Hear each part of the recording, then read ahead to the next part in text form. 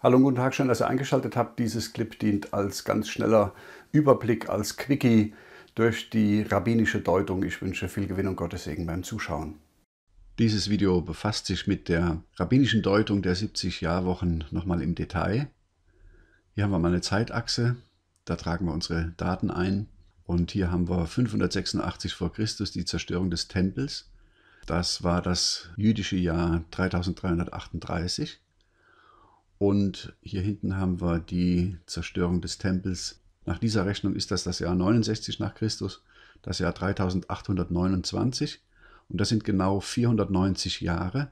So ist es zumindest im Talmud vermerkt.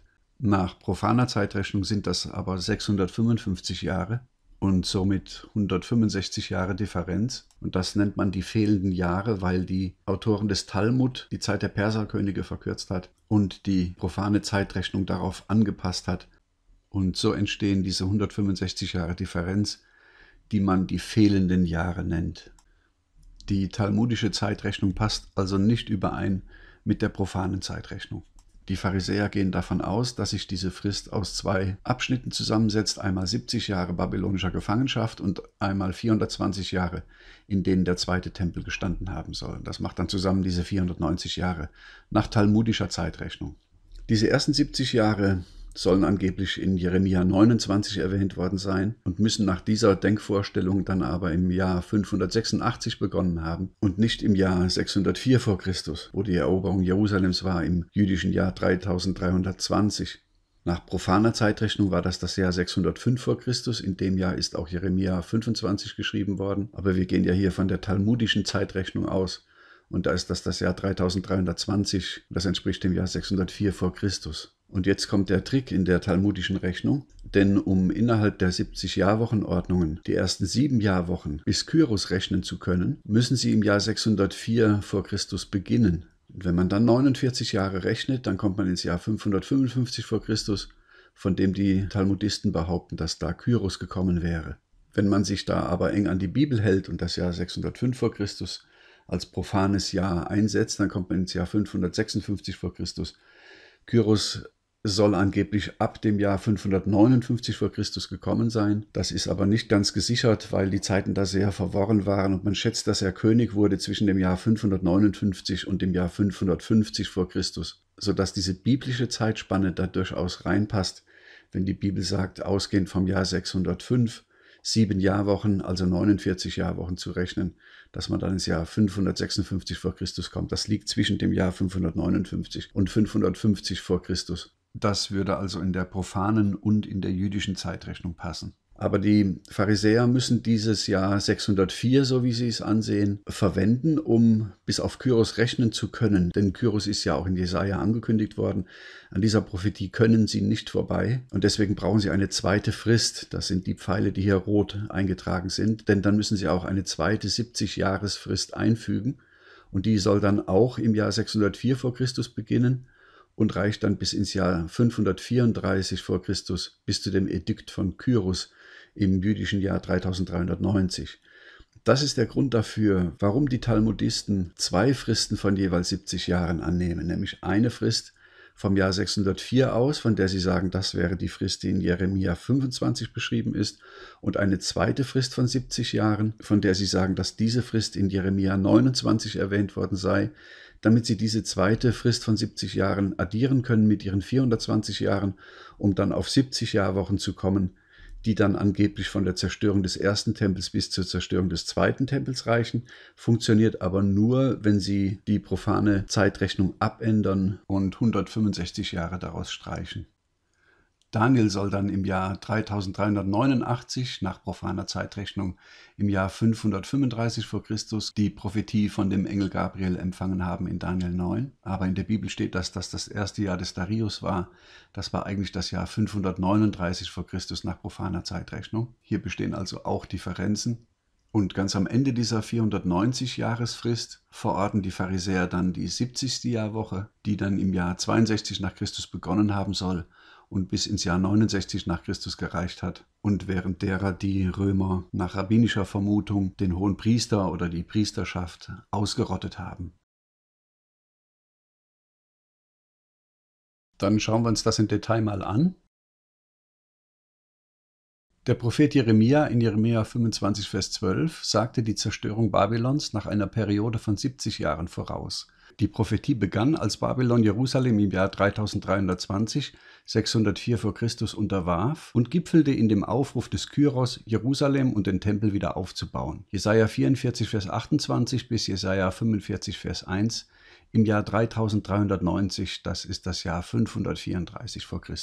Dann steht hier, Nebukadnezar, der König von Babylon, zerstörte den ersten Tempel im Jahr 3338, 18 Jahre nachdem er Jerusalem erobert hatte, im Jahr 3320. 70 Wochen von Jahren. Gabriel beginnt seine Prophetie an Daniel in Daniel 9, Vers 24 mit der Offenbarung, dass 70 Wochen, 490 Jahre über das jüdische Volk und Jerusalem verordnet sind, nach denen das messianische Zeitalter beginnen kann. Die folgenden Verse beinhalten eine detaillierte Beschreibung dessen, was während dieser Zeit vor sich gehen würde. Diese Periode dauerte von der Zerstörung des ersten Tempels bis zur Zerstörung des zweiten genau 490 Jahre, von 3338 bis 3829, 586 vor Christus bis 69 nach Christus. Sieben Wochen von Jahren. Gabriel verhieß Daniel, dass nach vollen sieben Wochen, 49 Jahren, gezählt vom Ausgang des Wortes, dass Jerusalem zerstört werden sollte, Daniel 9, Vers 2, ein gesalbter Fürst dem jüdischen Volk den Befehl erteilen würde, zurückzukehren und Jerusalem wieder zu bauen, Daniel 9, Vers 25. Tatsächlich befahl Kyros, den Gott als seinen Gesalbten bezeichnet, Jesaja 45, Vers 1, nachdem ein halbes Jahrhundert vergangen war, den Juden zurückzukehren und Jerusalem und den Tempel wieder aufzubauen. Jesaja 44, Vers 28 bis Jesaja 45, Vers 1 und Vers 13, Esra 1, Vers 2 bis 3, 2. Chroniker 36, Vers 22 bis 23. Hier sehen wir eine eklatante Abweichung vom biblischen Text, denn hier werden die vollen sieben Wochen, die 49 Jahre, gezählt vom Ausgang des Wortes, dass Jerusalem zerstört werden sollte. Das stimmt nicht, die sollten gezählt werden vom Ausgang des Wortes, dass Jerusalem wieder gebaut würde. Das ist also eine deutliche Abweichung vom Bibeltext zugunsten der talmudischen Auslegung. 62 Wochen von Jahren. In Daniel 9,25 offenbart Gabriel Daniel, wie Jerusalem für fast viereinhalb Jahrhunderte wieder gebaut sein würde, mit Straßen und Plätzen.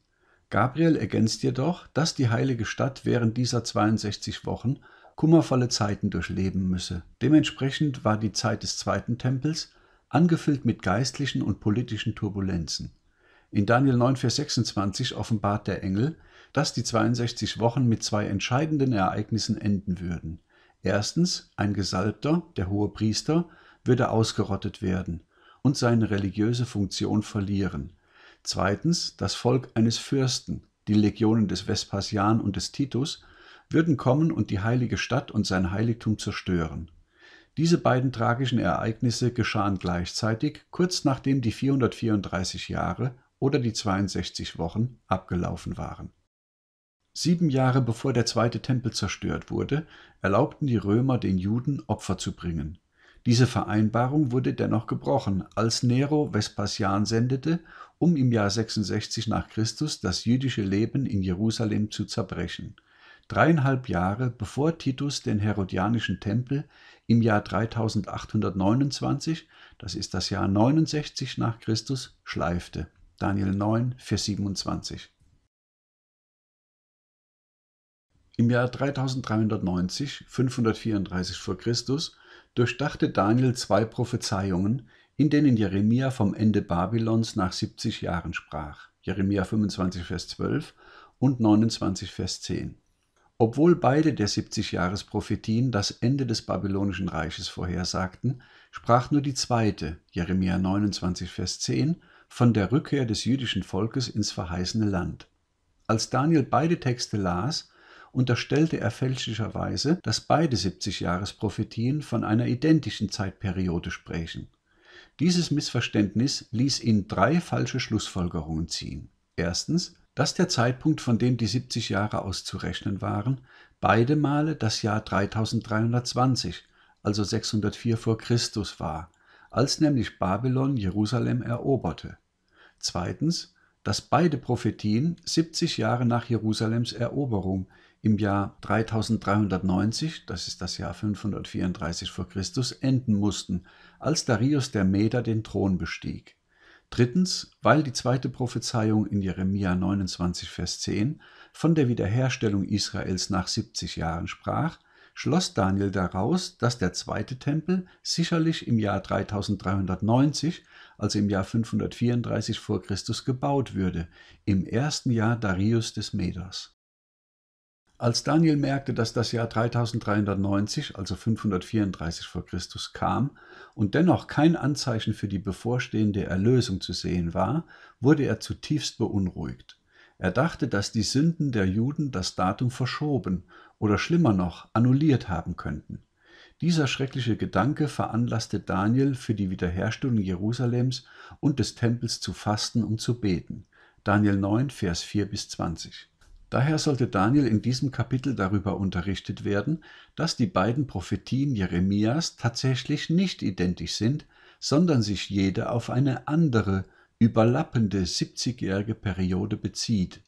Während sich die erste Periode in Jeremia 25, Vers 12 auf 70 Jahre ausgehend vom Jahr 3320 bezieht, als Jerusalem unterworfen wurde, sollte die zweite Periode die die Rückkehr Israels verhieß, Jeremia 29, erst 18 Jahre später beginnen.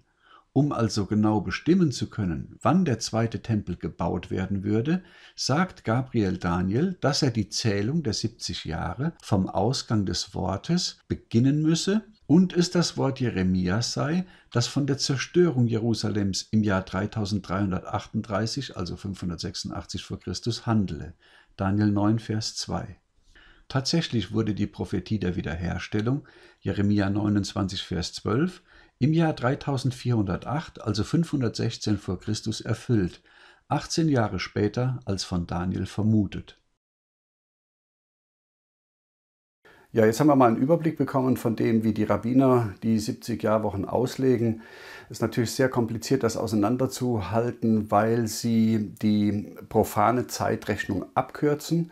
Sie nehmen 165 Jahre aus dieser ähm, profanen Zeitrechnung raus, um mit ihren 490 Jahren, die sie ansetzen zwischen der Zerstörung des ersten Tempels im Jahr 586 vor Christus und der Zerstörung des zweiten Tempels im Jahr 70 bzw. nach ihrer Rechnung 69 nach Christus hinzubekommen. Dazu müssen sie die ganzen Zwischenjahre löschen. Das widerspricht natürlich den archäologischen Befunden, den Nabonid-Chroniken und all diesen Dingen, die gefunden wurden im Nahen Osten. Ähm, man sieht also diese Deutung und diese Zählung dieser Jahrwochen ist genauso, steht genauso auf tönernen Füßen, Füßen wie das, was allgemein in der evangelikalen äh, Welt transportiert wird. Ich wollte das dennoch kurz zeigen, damit man einen groben Überblick hat darüber, wie die beiden maßgeblichen Deutungen der 70-Jahrwochen sind. Ich denke, man kann die dann dem gegenüberstellen, was ich gezeigt habe, dass man beide Fristen, die, sieb, die ersten sieben Jahrwochen und die 62 Jahrwochen, beide vom Jahr 605 ausrechnen muss und dann zu Kyros kommt und zu Antiochus Epiphanes, die ähm, beide Vorbilder und Abbilder dessen sind, was in der Endzeit kommen wird. Diese beiden Charaktere, nicht in Persona, die werden nicht sterben und wieder auferstehen, wie manche ja vom Antichristen vermuten. Das sagt die Bibel nirgendwo, dass es so ein Ereignis geben würde. Aber es wird in der Endzeit politische Kräfte geben, die genau dem entsprechen, wer Kyros war und dem entsprechen, wer Antiochus Epiphanes war. Das ist noch deckungsgleicher, als wir uns das vorstellen können. Und wir schauen uns in dem nächsten Clip mal an, was Daniel 29 tatsächlich gesagt hat, was das ganze Kapitel enthält. Ähm, der Rabbi sagt ja auch ganz richtig Kontext, Kontext, Kontext in seinem Clip. Und das machen wir dann auch mit Jeremia 25. Da läuft seinem kalt den Rücken runter, denn Jeremia 25 beschreibt Hamageddon. Ich freue mich, wenn ihr dann wieder einschaltet, wünsche bis dahin alles Gute, Gottes Segen und bis bald.